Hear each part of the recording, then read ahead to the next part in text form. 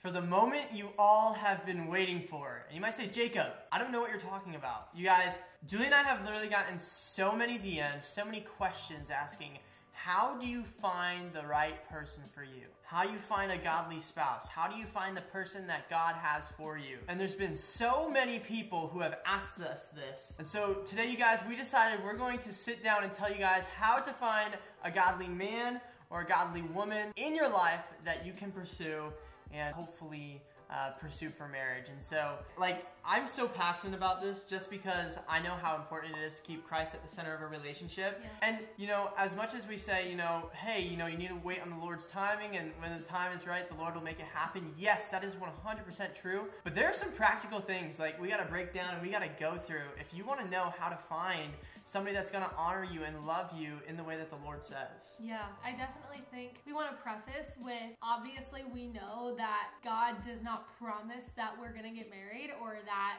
there is someone out there for everyone. But at the same time, many of you will get married because a lot of people do have that desire. And if you don't have the desire, that's okay. But if you do have that desire and God has given you that desire, God has a plan for you in your life. And so it is important to know the steps that you need to take, what you need to look for, maybe what you need to look out for and watch for. And so we just wanted to give you guys our best advice on how to find a godly spouse. Yes, awesome. So the first thing that I want to talk about is being in the Word of God. And so you guys don't know what that is, that is the Bible. This is God's Word. And something that is so important is, especially when we are pursuing a relationship, we're trying to find a relationship, whatever it might be, you know, something that's really, really important is we first have to be fulfilled by the Lord and be content in our relationship with Him. Because if we can't hold a relationship with God and we can't dig into His Word and actually want to spend time with Him, what makes us think we're ready for a relationship if we're not even giving God the correct amount of time? You know, Yeah. am I going to be able to treat my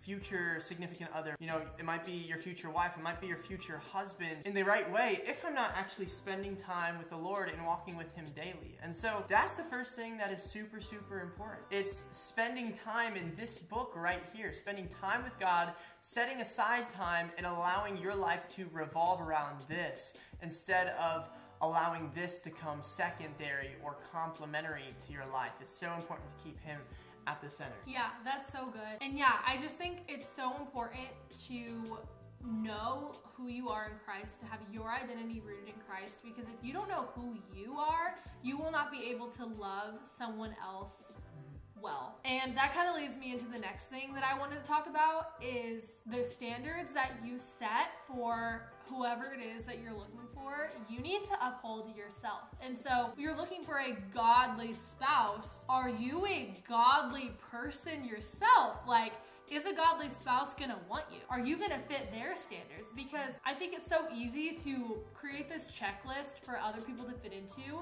when you haven't self examined and said, okay, have I actually started a relationship with God like I need to? Am I consistent in my word? Am I honoring my family? All those different types of things. And so that's a challenge for yourself is before you even look for a spouse or for a boyfriend, a girlfriend, whatever, you need to look to God, look at the mirror and say, okay, is my relationship with God on the right track? Am I in God's word?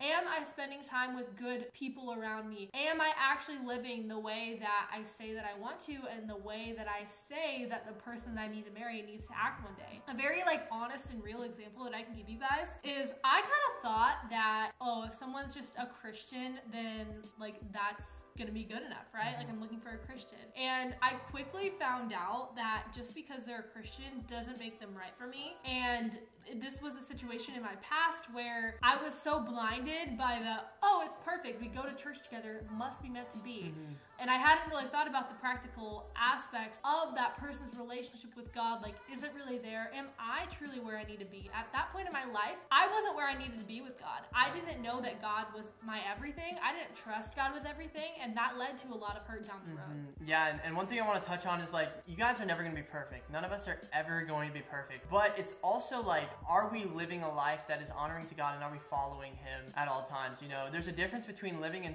sin and then repenting when you fall, right? And so I just want to kind of clarify among that as well with what Julia was saying. But that honestly leads like directly into this next thing that I wanted to talk about. And I feel like there's a stereotype of like Christian guys and Christians and girls. They see a Christian guy or a Christian girl who's really cute and they're like, oh my goodness, I'm gonna marry that person. Yeah. And it's just because like, oh, they're Christian. They say they're Christian. Awesome. That must mean that they're gonna be the perfect fit for me. Yeah. And it's like, no, that's not the case all the time. You guys might not actually be in the same place in your faith. You guys actually might not be equally yoked. And what equally yoked means basically is that you guys are running this race of faith at the same speed and you guys can continue to learn and grow together. It would be hard if somebody who just came to know Jesus and somebody who's been walking in the faith for 10 years tried to get into a relationship. That would just be extremely difficult because one person has followed the Lord for 10 years and one person hasn't, right?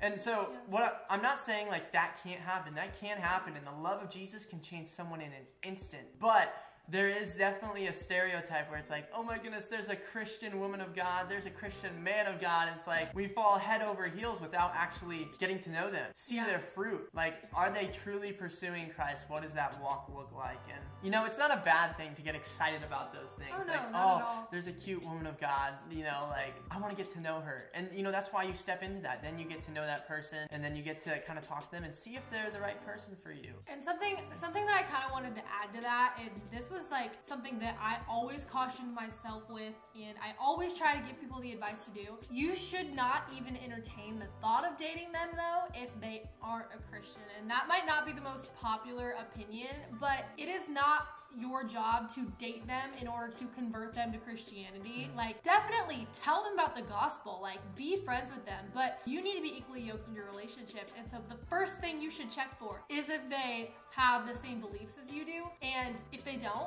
share the gospel with them. You know, that's awesome. But it isn't enough to make it a perfect match, but Right. definitely always make sure that they do have the same beliefs you. Right. That's really, really good. I think another thing I get all the time is like, okay, Jacob, I have the standard. I know the standard. I'm walking with Jesus. I still can't find my man or woman of God. And so this would be my next answer is like, if God has called you into relationship and you know you're meant to be in a relationship with somebody, where are you looking? Like, I feel like there's a lot of times we live life and it's like, oh, this girl is just gonna magically fall right in front of my face. And like, although that's an awesome expectation to have and it's awesome to live in faith like that, there's also a practical side of, am I gonna meet my future wife at church? Or am I gonna meet her at a party, right? It's just like those different dynamics that we have to think about. I was so convinced that if I just hung out in the right place at the right time, no matter if I was surrounding myself with good people or people that were leading me astray from my walk with Christ, I would soon find that person. Yeah. But that wasn't the truth at all. It was when I started truly following Jesus, hanging out with people who sharpened me, right? As iron sharpens iron, so does one man sharpen another, and fully trusting that God would bring me that person in His timing. Look who He placed in my life. Like He placed Julia in my life. And where was that? That was through an amazing Christian community I met online. Yeah. And then that was through an amazing Christian community where we were actually able to go and do an event together. And although we weren't talking during that time, we were like friends. I knew of her. And it actually came down to a Christian prom that she invited me to Yeah. that I was actually able to spend like I had never spent like good time with her because I was in another relationship. So obviously there was clear boundaries there and she was kind of just a friend. But when that relationship ended and we went to this, we truly got to know each other and have fun. We were surrounded by other like-minded believers and it was just so awesome and so fulfilling to see God just place this person in my life while I was following him, but also as I was making good decisions and, continuing to walk and do life with other brothers and sisters in Christ who would help me and lead me in the right direction and lead me astray. Yeah, that's really good. And I don't think either one of us were really like looking for our future spouse. Like honestly, when I met Jacob, I didn't really think that, and I think a good place to be is to not set the expectation too high because you don't want to get your hopes up and then Yeah. like get your heart completely Right. broken. But there were things that I noticed about Jacob that I was like, oh, like that would be kind of a nice quality to have in my future husband. And the more I got to know him, the more I was hopeful that, you know, we could be married someday. And I know we were talking about standards earlier, but maybe you don't know what standards you need to have. And that's a very real place to be is you're like, okay, well, what standards do I need to have? Like, are there things I need to be looking for specifically? And there are commandments that the Bible gives husbands and wives in Ephesians chapter 5. And this is just something I want to encourage you guys with is if you don't have a list of standards that you want in your future spouse or you want in yourself, make sure that you are upholding what scripture says. And so in Ephesians chapter 5 verse 25 it says, "Husbands love your wives just as Christ also loved the church and gave himself up for her, that he might sanctify and cleanse her with the washing of water by the word. This is such an awesome passage, and we could go on like an entire Yeah. sermon about this. But what this is saying is that this man must love you like Jesus loves you, loves the church, and that he must be willing to sacrifice for you. yeah. And he's a humble person. Like all of these things, someone who's willing to answer to God. If he's not willing to answer to God, then he's not going to be able to love you in the right way. Mm. So align your standards with what it says in the Word of God, and that'll set you up for a lot more success than if you're like, he has to be six feet tall, he needs to be a brunette, like all of your little Yes. lists stuff. And I- also, I just want to put this out there. You know, we're talking about all these things, these standards you should set, and how you should follow the Lord and, and be surrounded by good people and be in the you know correct places. But it's also like I don't want you guys to set a false expectation of like, okay, and when this happens, my relationship is going to be perfect. Like that's not the case at all. And as a man of God and as a woman of God, there are times where we are going to fall short in loving mm-hmm. our significant other and our spouse like Christ loves the church. But the, the truth behind all of this is God's love can transform your life. And it will transform your life when you meet it for the first time. In a blink of an eye, it can completely change your life. And so that's the important thing to know is when you walk with the Lord, He can help you love others in a way that you never could in your own strength. Yep. He can help you lead and guide your significant other to the cross every single day in a way that you never could in your own strength. And that's why we can't do it alone. Jesus has to be in the equation.